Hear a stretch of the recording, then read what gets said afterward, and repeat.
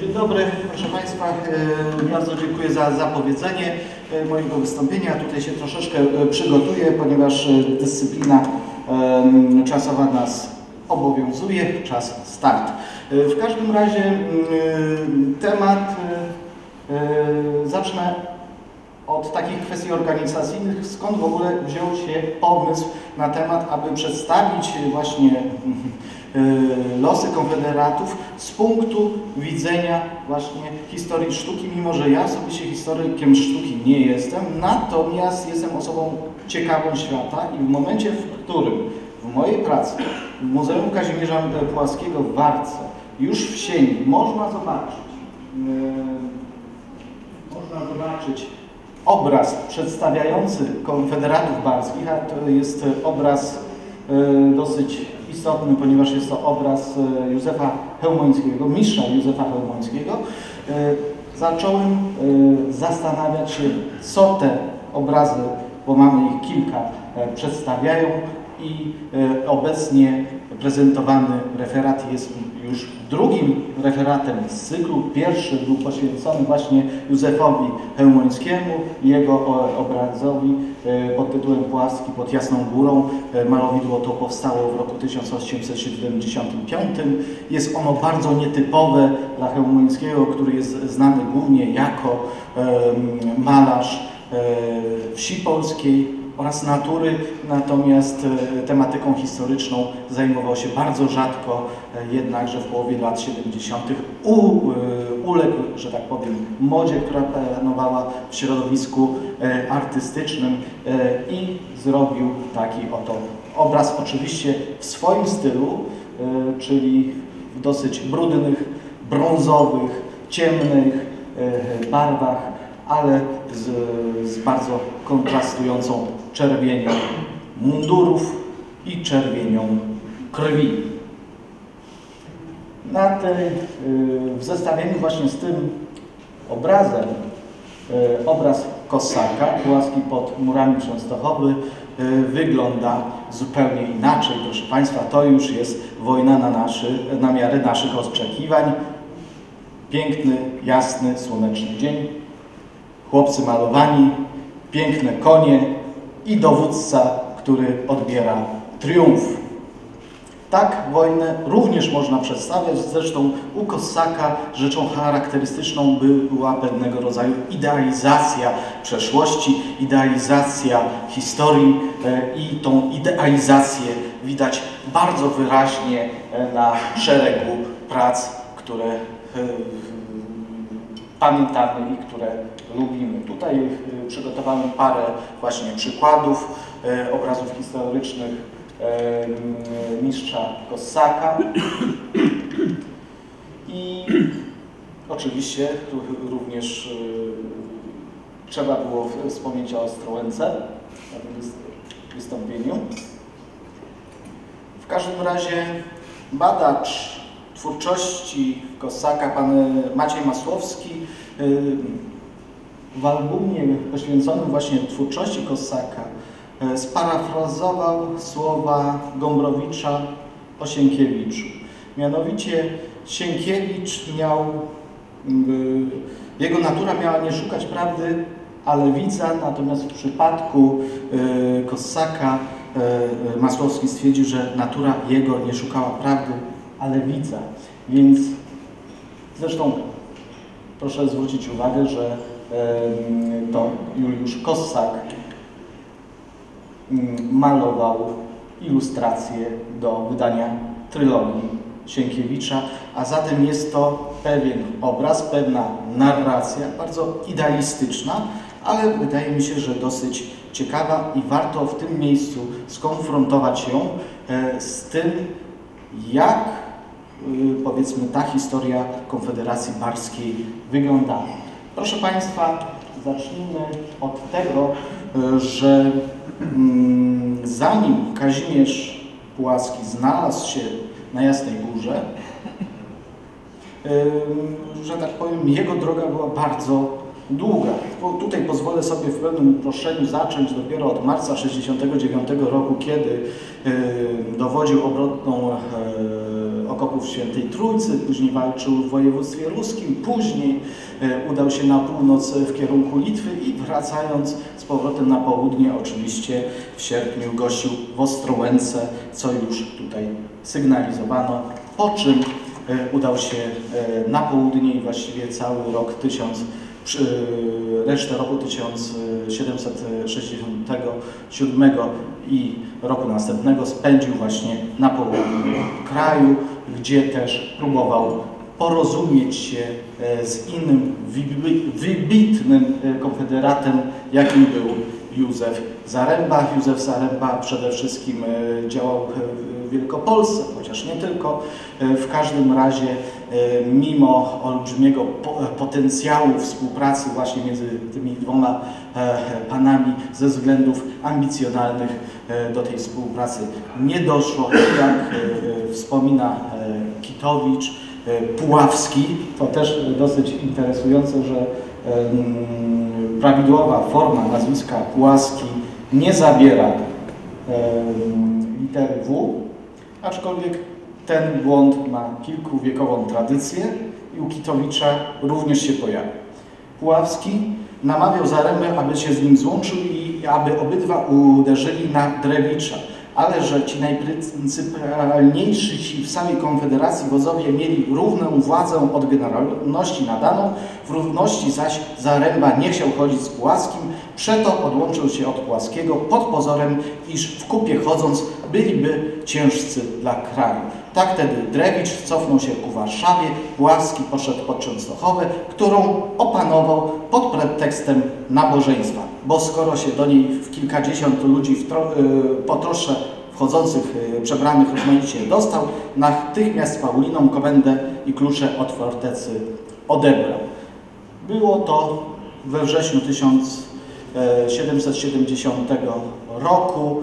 E, Późniejszy przeciwnik Pułaskiego, e, generał Drewicz, odszedł właśnie w kierunku Ma- Mazowsza, po czym powrócił i już z początkiem listopada e, zaczęły się pierwsze utarczki z oddziałami e, konfederackimi. Samo oblężenie klasztoru zaś, na samo oblężenie klasztoru przyszło czekać jeszcze prawie dwa miesiące, ponieważ walki o Częstochowę zaczęły się e, w Sylwestra. Najpierw walczono o przedmieścia, później o miasto, aż w końcu e, z początkiem stycznia po za- zainstalowaniu przez Rosjan e, dwóch baterii szczelniczych zaczął się ostrzał klasztoru. Było to dokładnie 3 e, stycznia. E, Pomimo prowadzonych e, działań e, skutki były, straty w klasztorze były bardzo niewielkie, ponieważ e, na 115 kul, które wystrzelono w kierunku fortecy, e, zginęła zaledwie jedna osoba e, i zostało ranionych zaledwie 6 koni. Co ciekawe, sytuacja w fortecy przedstawiała się źle. Y, Panował dosyć spory y, nieporządek. Y, Kazimierz Pułaski musiał większość swoich oddziałów przed wejściem do fortecy rozpędzić i w momencie oblężenia dysponował zaledwie 500 konnymi i y, 800 e, piechurami. Dla porównania siły Drewicza to 3149 e, osób, nie licząc artylerii.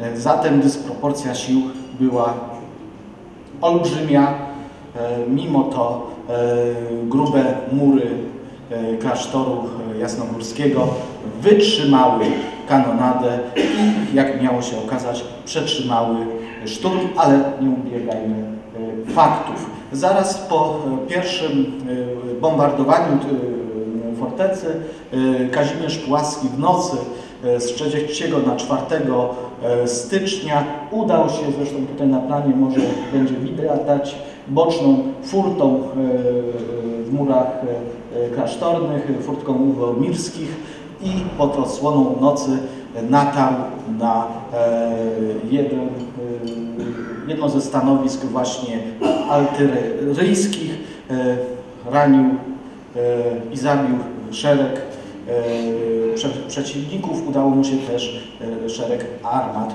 unieruchomić i unieszkodliwić. Zresztą nie była to jedyna wycieczka, że tak powiem, na tle wroga, która w trakcie działań obronnych miała miejsce.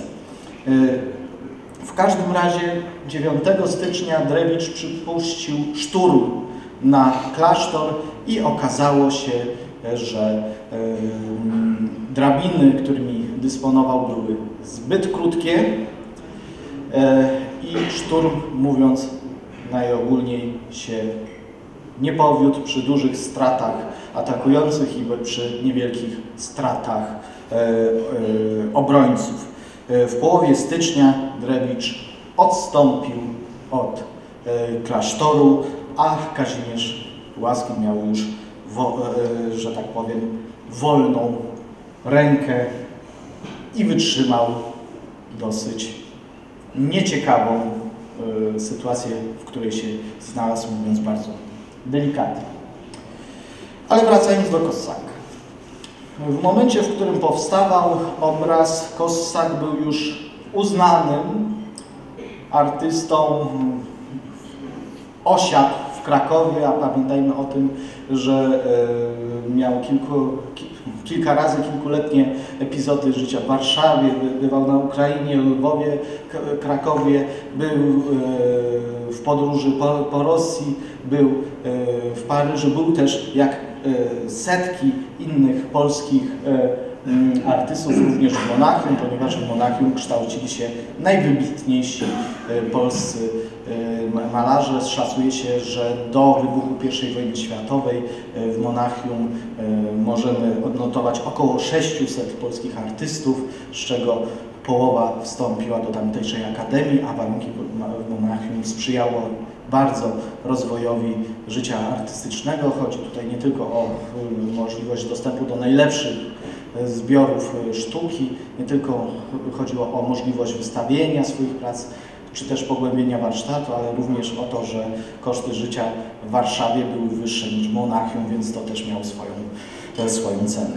W każdym razie w momencie, w którym powstawał ten obraz, a w sumie nie do końca wiadomo kiedy powstał, ponieważ w dacie na podpisie trzecią cyfrę można równie dobrze interpretować jako siódemkę albo jako ósemkę, a zatem umówmy się, że obraz ten powstał albo w roku 1867, co wydaje się być bardziej prawdopodobne, albo powstał 10 lat wcześniej. W każdym razie powstał on w momencie, w którym Kossak już miał swoją renomę, chociaż w, w przypadku tej późniejszej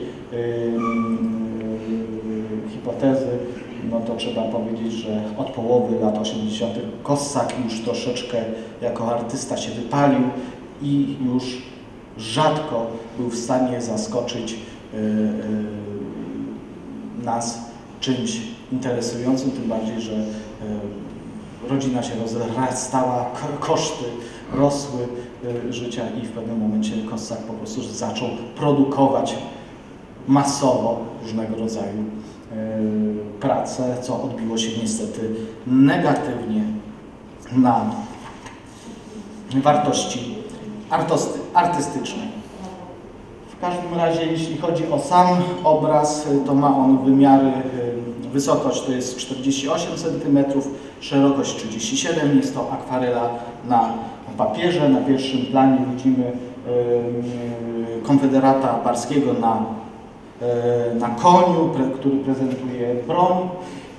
Ma mundur w, barta, w barwach bażan, błękit i karmazyn, a także graf z matką boską częstochowską. Na drugim planie mamy Kazimierza Pułaskiego w otoczeniu oficerów, zaś tło stanowią na dole inni żołnierze maszerujący, jeżdżący na koniach, a na górze dominuje zdecydowanie klasztor jasnogórski. Proszę zresztą zauważyć, że na tym obrazie mamy mnóstwo koni i te konie konik w końcu Juliusza Kossaka, mistrza w przedstawianiu tych pięknych zwierząt. One też w jakiś sposób dominują na tym obrazie, są bardziej dopracowane niż postacie ludzkie, są bardziej zindywidualizowane, natomiast jak się przyjrzymy twarzom poszczególnych właśnie konfederatów, no to okaże się, że one tak na dobrą sprawę niewiele od siebie się różnią. Taka ciekawostka. O, można to zobaczyć tutaj na, na zbliżeniu, przynajmniej na tyle, na ile pozwala nam, na ile pozwalają nam warunki oświetleniowe. A na drugim zbliżeniu mamy Kazimierza Płaskiego, który pokazuje palcem e, kierunek w, w, w którym wojska konfederackie powinny podążać. Ma to oczywiście też swój wymiar metaforyczny, mianowicie pokazuje też e, kierunek w kieru e, ku wolności.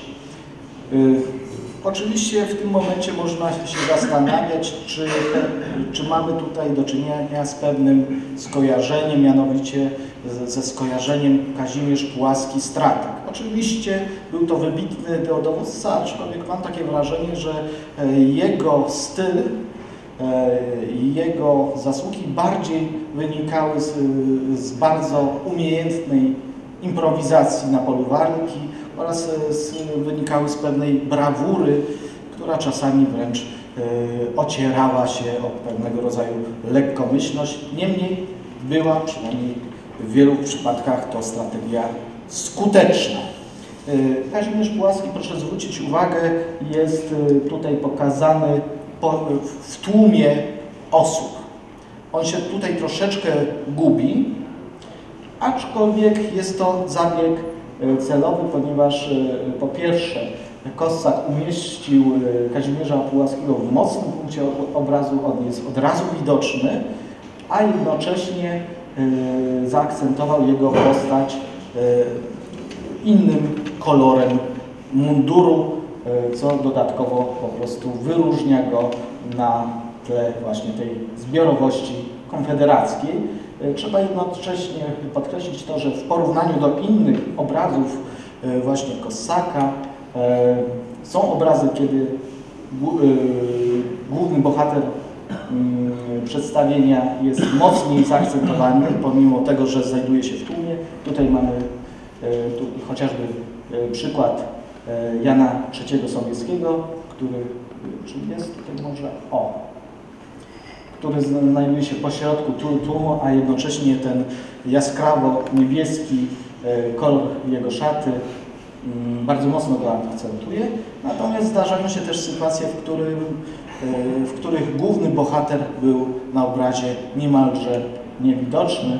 Tutaj mamy e, ilustrację, e, hasło i odzew. I główny na postać, czyli Tadeusz Kościuszko znajduje się tutaj. Nawet przy dobrym świetle byłoby go trudno znaleźć. W każdym razie jest to jeden z częstych zabiegów, jakie wykorzystywał Kossak na swoich obrazach innym sposobem przedstawienia głównych bohaterów właśnie historycznych był całościowy portret, najczęściej portret na koniu e, e, i e, zaś w tle znajdowały się obrazy. Tutaj mamy też kolejne przedstawienie Płaskiego pod Częstochową. Również jest to przedstawienie Juliusza Kossaka. I Kończąc już powoli warto zwrócić uwagę na to, że są tutaj zastosowane typowe również dla Juliusza Kosaka barwy, ciepłe, dominują tutaj odcienie żółtego, delikatne brązy, błękity. Można wręcz powiedzieć, że jest to sielanka, sielankowy obraz, choć mamy tutaj do czynienia z samym środkiem wojny. I na zakończenie warto przytoczyć słowa e, Kossaka, który stwierdził, że sztuka jest bronią i głosem pozbawionego wolności narodu. Budzi, czuci, jączy i zapomnieć nie daje. E, I proszę zwrócić uwagę, że zestawiając właśnie to, co widzimy na obrazie i zestawiając to, co możemy wyczytać z opracowań historyków, to mamy dwa różne obrazy. I można powiedzieć, że jest prawda historyczna i prawda mitu i one nie muszą być ze sobą e, zbieżne. Co więcej, często o doniosłości różnego rodzaju wydarzeń e, świadczy nie to, co naprawdę się wydarzyło, tylko to, jak to odbieramy, a w tym niemała zasługa artystów. Wydaje mi się, że warto o tym pamiętać właśnie z okazji chociażby rocznicy Konfederacji. Warto na pewno zachować czujność, krytycyzm, pewną uczciwość, a jednocześnie i wszystko to, co historycy nazywają warsztatem, a jednocześnie w związku z tym, że gdzieś zawsze musi się pojawić mit i raczej od tego nie uciekniemy, to niech będzie to powiedzmy mit w dobrym smaku, tak jak chociażby na obrazach Kosaka. I tym stwierdzeniem chciałbym właśnie zakończyć nasz, e, swoje wystąpienie. Kolega będzie kontynuował motyw pamięci o Kazimierzu Puławskim i pamięci o konfederatach barskich, bo tak jak już zresztą e, e, wspomniałem, czasami ważniejsze jest nie to, co się wydarzyło, ale to, w jaki sposób się o tym pamięta. Ja bardzo dziękuję za uwagę i gdyby były jakiekolwiek pytania, myślę, że będzie chwila dyskusji, no to wtedy y, postaramy się odpowiedzieć mm, najlepiej jak tylko się da.